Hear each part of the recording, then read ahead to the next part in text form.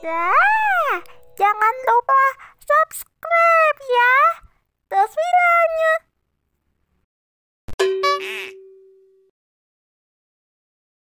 Dan tiba-tiba Ina merasa kedinginan dan ingin membeli es teh lemon hangat. Aduh, aduh, bebek. Lama-lama kok makin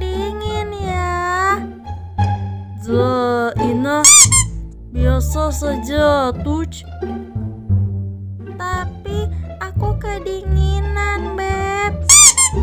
Ya udah yuk, kita minum sesuatu gitu yang anget-anget. Za, baiklah, Ina. Tetapi saya tidak yakin ada yang jual anget-anget di sini.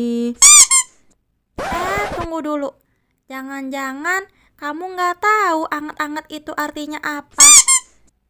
Za, saya tahu, Ina. Jelas-jelas saya tahu. Kenapa Ina meragukan saya? Ih, Hmm? ngambek lucu. Ya udah, ya udah. Emangnya anget-anget itu artinya apaan, Beb? Za, jelas saya tahu. Minyak kayu putih. Ah, Duh, kenapa kamu tertawa, Ina? Memangnya saya bicara lucu. Lagian kamu lucu banget sih, Beb. Anget-anget itu maksud Ina minuman hangat, Beb, bukan minyak kayu putih. Minuman hangat. Oh. Za, kalau begitu abang Ipar membohongi saya. Eh, waduh. Gak juga sih, Beb. Bang Indo gak bohong kok. Minyak kayu putih kan juga anget-anget. Tapi maksud Ina tuh buat anget-angetnya yang di dalam perut, Beb. Begitu. Oh, jadi seperti itu. Oke.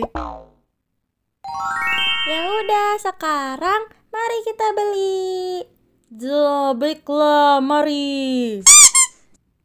Es teh manis anget, es teh manis anget. Ayo, ayo dibeli, dibeli. Es teh lemon anget, manis. Za, kenapa ada penjual seperti itu di tempat ini? Saya tidak pernah melihatnya. Gak tahu, Beb. Kok random banget ya?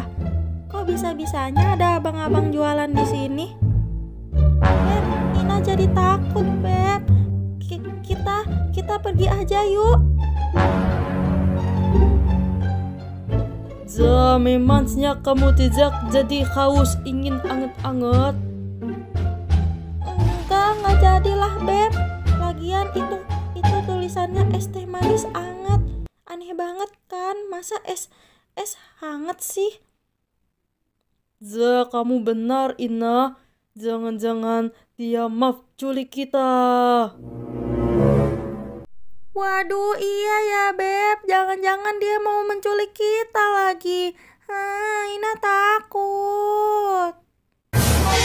Za, saya tidak maaf diculik. Ya, ya udah, Beb. Jangan jangan nangis di sini dong. Mendingan kita kabur aja yuk. Yuk. Juga takut diculik, Beb. Ntar Ina nggak bisa ketemu sama Bebek lagi. Hah. Za, kamu benar, Ina. Nanti Ina saya tidak bisa bertemu Ina lagi. Ya udah, Beb. Ayo kita pergi aja dari sini daripada nanti diculik sama Om itu. Ya, benar sekali. Mari sini, Ina. Saya akan bawa kamu pergi dari sini. Eh, Ya, bye. ah, Ruski. Ah.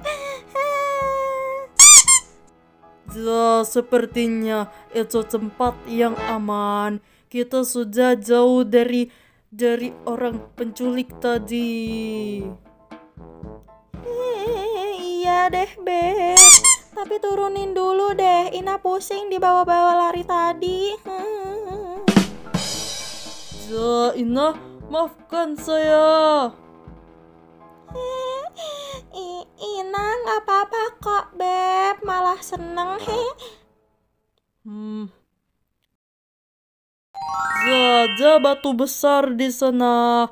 Ja, mari kita tidur dulu di sana. Maafkan saya Ina. Mari kita, mari saya akan bantu kamu istirahat.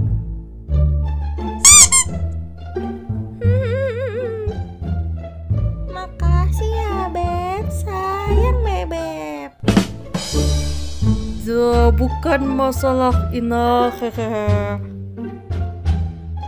Kemudian Ina kedinginan, terus Ruski kasih jaketnya dan mereka ngebucin di tempat. Beb, Ja, Ina, kenapa kamu? Wajah kamu sangat pucat. Kenapa? Apakah kamu sakit?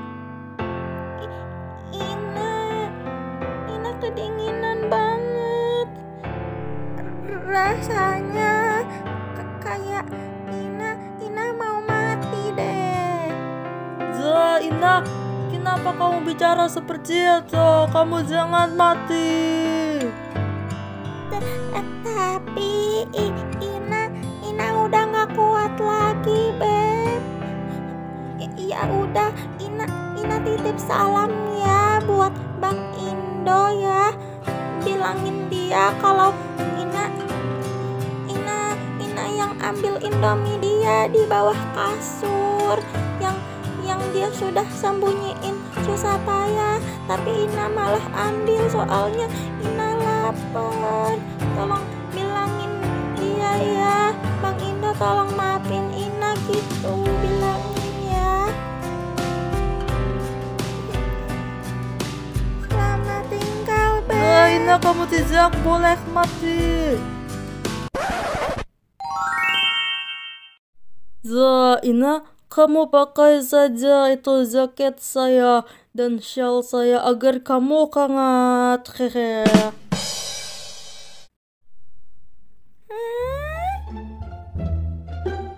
Tidak perlu khawatirkan saya. Saya saya kuat sekali. Saya suka dingin. Wah, bebeknya Ina emang yang paling keren sedunia.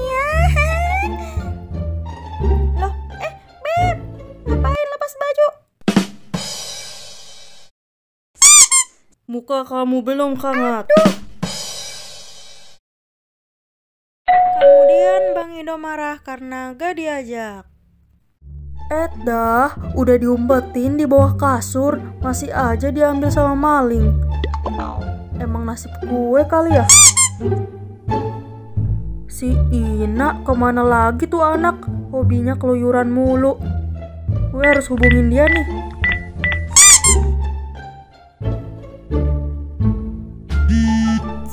Ina, handphone kamu berbunyi. Hah? Tolong angkatin dong, Beb. Ina kan gak bisa lihat. Oh, oke. Hello? Loh, kok yang angkat malah kamu sih, Rusia? Adek gue mana? Si Ina mana? Siapa kamu? Pelakor ya? Saya tidak sudi kamu pelakor. Pelakor ingin ambil Ruski bebek kesayangan Ina. Tidak ada lain di dunia hanya Ina. Loh, Ina milik Ruski bebek. Eh, Bebek, itu itu bukan pelakor, Beb. Itu kan suaranya Bang Indo. Oh, abang ipar. Za, abang ipar. Hehehe. Hello, abang ipar. Za, abang ipar. Mana Ina? Ina ada di sini bersama saya. Ina sedang bermain salju dan liburan di sini bersama saya. Hah? Kok dia gak izin dulu sih? Kok dia main pergi aja gitu? Gak ngajak-ngajak gue lagi. Ja, itu karena dia hanya ingin berdua saja dengan saya. Astagfirullah, tuh anak emang bandel banget ya dari lahir. Ya udah deh, jagain dia. Awas ya kalau dia sampai kenapa-kenapa. Lo gue sate Rusia. Ja, baiklah, Wang Ipar. Bye-bye. Ya, Ina pasang wallpaper gambar saya. Keren sekali. Beb, tadi Bang Indo ngomong apa? Abang ipar remep bikin sate.